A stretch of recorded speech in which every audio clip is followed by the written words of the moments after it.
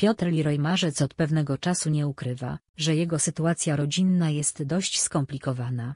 Po 10 latach artysta rozstał się z żoną, z którą ma trójkę dzieci, Michelle, Piotra i Dextera. Była żona Leroya, Joanna Krochmalska, udzieliła w lutym tego roku wywiadu dla Wysokich Obcasów, gdzie wyjawiła, że była ofiarą przemocy ze strony męża. 41 latka w głośnej rozmowie spowiedziała także iż ona i jej dzieci nie mają za co żyć, a nawet grozi im eksmisja. Zostałam bez pomocy i bez środków do życia. Nie jest prawdą, że zajmuję dwa mieszkania jednocześnie, ponieważ z tego w Warszawie muszę się wyprowadzić do końca stycznia, a to jest już jutro. Mieszkanie w Gdańsku, w którym mieszkaliśmy ponad 10 lat, zostało zadłużone i straciłam decyzję do lokalu. Teraz staram się o przywrócenie decyzji na mieszkanie w Gdańsku i mam nadzieję na pozytywną odpowiedź. Wtedy przeprowadzimy się z dziećmi do Gdańska na wywiad postanowił odpowiedzieć Leroy, który w swoich social mediach opublikował własne oświadczenie, w którym udowodnia, że to on jest ofiarą sytuacji.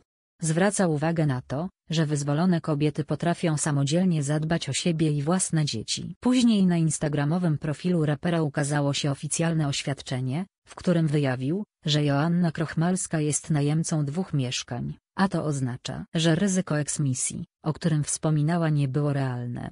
Podczas najnowszego wywiadu w Hyde Parku u Krzysztofa Stanowskiego raper wrócił do tej sytuacji. Opowiedział o walce o dzieci i przepychankach z byłą żoną.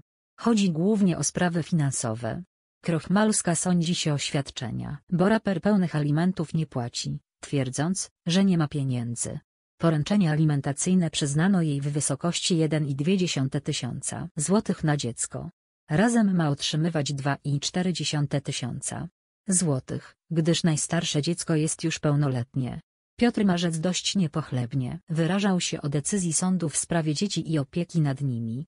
Jestem w stanie oddać wszystko, żeby oddali mi dzieci, ale nie dostanę ich, bo to jest tak popiony system. Jestem bezsilny.